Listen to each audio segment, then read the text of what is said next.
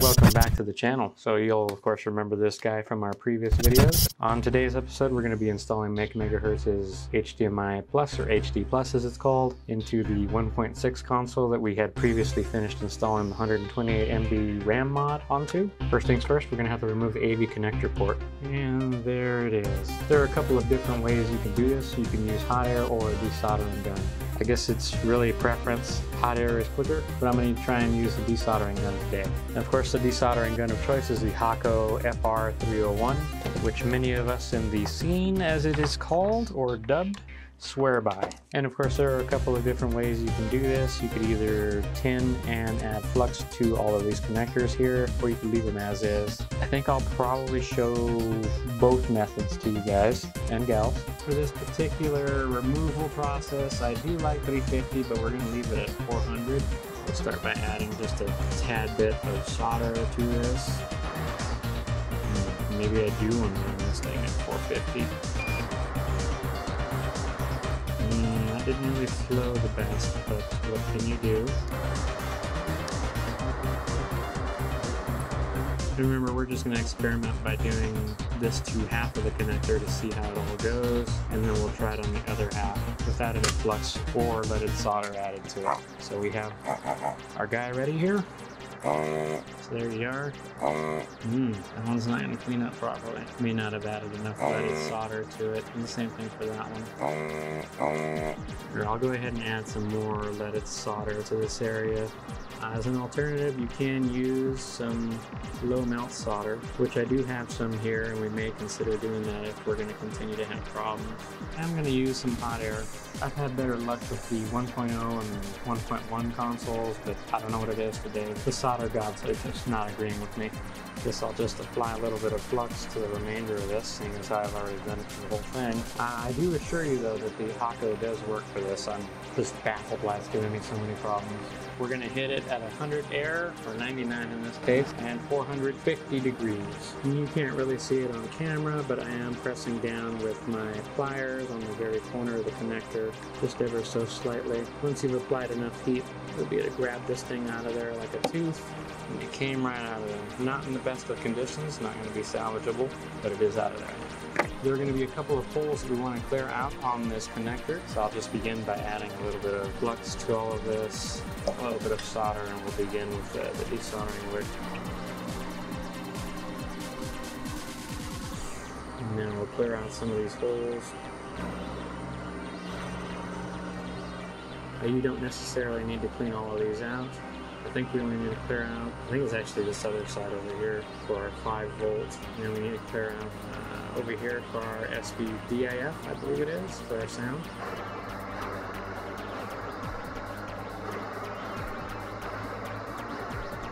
So that looks good enough for me at the moment. If we need to do some more cleaning, we'll do so later. Let's clean up what we've done. And this right here is the Hakko. I guess it was a little too high on the feet, but they're fine. You don't need to worry about it. So here's how our front is looking. That big piece of uh, solder that we're going to need to remove right there. So there's our guy. There is where we're going to be doing the damage. Alright, so now that we have our port cleaned, we can install the connector, FFC I believe it is, right here. Or we can go ahead and get our jumpers going. And I think I'm going to do the jumpers first. We need to install the jumper to number 1112 and 1314, which is going to be from this side. So it'll be to right here, and right here, and right here to here. So we'll go ahead and fold this in. We'll use some tweezers to bend this. That's one of them. We'll go ahead and solder that in immediately. Add a little bit of flux because flux is good. Messy, but good. So we have that first one tacked down. Let's go ahead and cut it off because I need this jumper to continue with the remainder. Just cut that off right there. And the excess that's on this other side. Just pre-bent the jumper and it goes right next to this other one. And just maneuver it in there. We should have enough flux from the previous jumper to continue with soldering this one in. I don't like how it's moving, so we're going to go ahead and press down on it with some tweezers.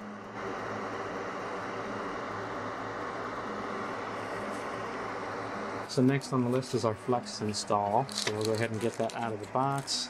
Do need the flex though, so we'll grab that out of there. Uh, before we do that though, let's go ahead and cut the excess on these jumpers. You can't really see them, but they're right there. Now we're going to want to install our flux, which is right here. Uh, it is recommended that you pre-tin this whole thing, so that's what I'm going to do. I'm also going to add some flux and this capacitor over here as well. We have our non-leaded solder. It's got to stay in the roll though, so we'll go ahead and pre-tin all of this. And now we can put our connector here and just align it as best as humanly possible. Maybe I should have used more solder. And more flux. We're just wanting to tack this down real quick. Doesn't matter how it looks.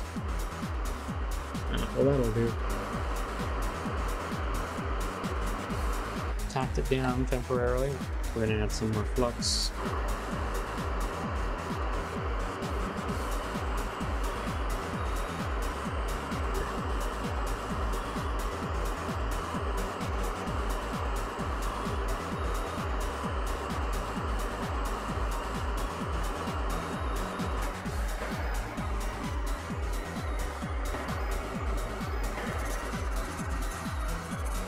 That looks pretty good. We'll go ahead and spray it off.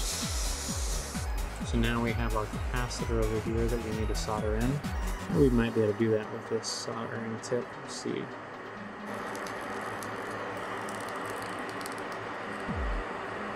We'll put both the 5 volts and the SPDIF in here. So this is our 5 volt, and then of course our SPDIF, which is the sixth one. So right in there. I don't know that I'm going to have enough solder. Hopefully I do. It's just enough to get a temporary connection. So now I'm going to add the real amount of solder to this.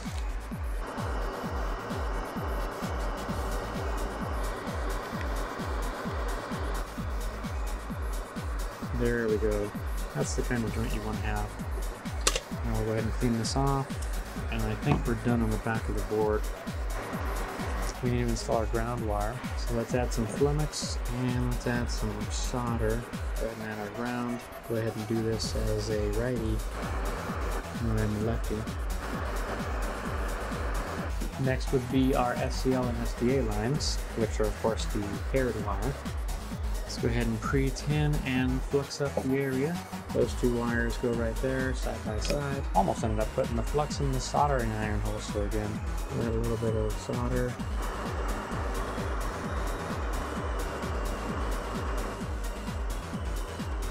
A very strong bond. Um, the wires are exposed a little tiny bit more than I would want. However, I think we'll be fine because it's going to be sitting off of the board. We're going to first remove the fan, that way we can install this in there. Many of you may remember this tool if you're uh, part of the other scene.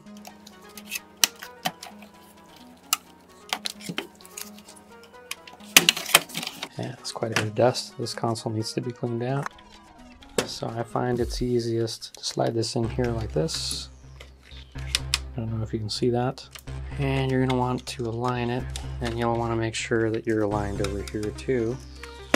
So I'll go ahead and get that going. You may need pliers for this step. Wow, I've never had it going that easy before. So there you are. Let's go ahead and put the fan back in.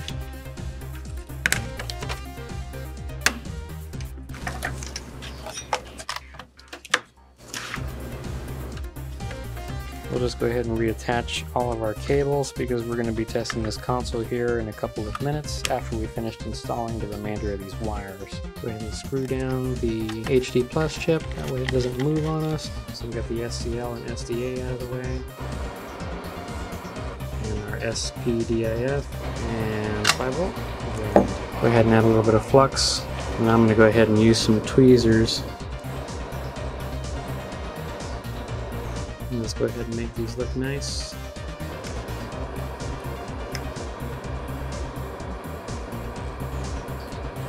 Alright, now our SCL and SDA lines. Blue wire is on the right hand side.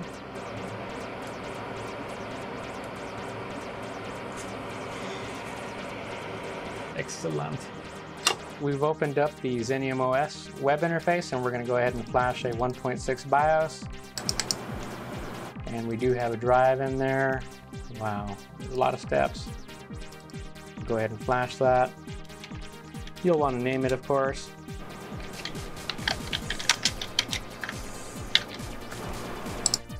And it is being flashed.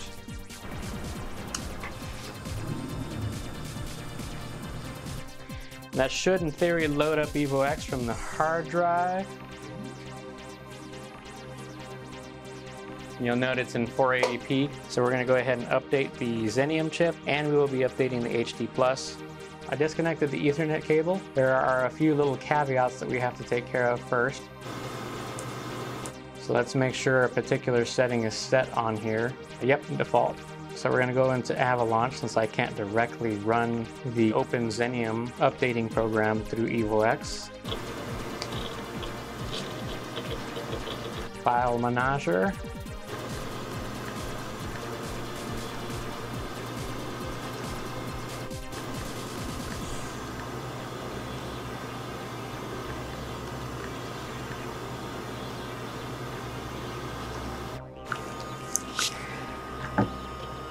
We're going to update the HD Plus firmware. You'll notice that it's looking a little bit better over here now that we've updated the Open Xenium.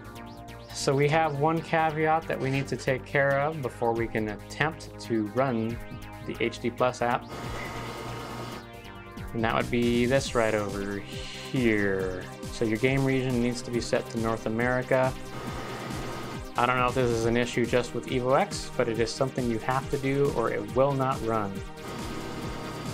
Now we can proceed to updating the HD Plus chip. This will actually take a little while. So there you go. It's going to begin updating after it does a two minute delay. It's too bad there isn't an option to just skip it and assume all responsibilities. This is gonna for sure be a five minutes later. Five minutes later. Now looks like it finally finished. So now we're gonna go ahead and mess around in the settings with HD Plus. System settings, I do want all of these. I want widescreen, yep. All right, that should do.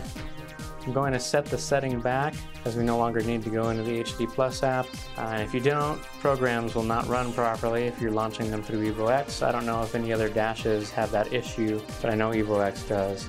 Let's go ahead and go into Media Center and see what that's doing. Now, and as you can tell, we have our 84 MB free out of the 128 MB.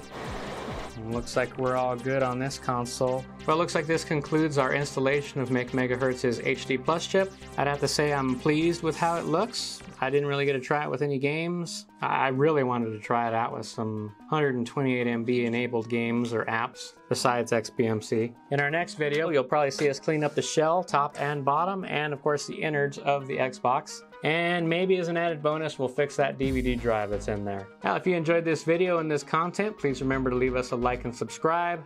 Adios.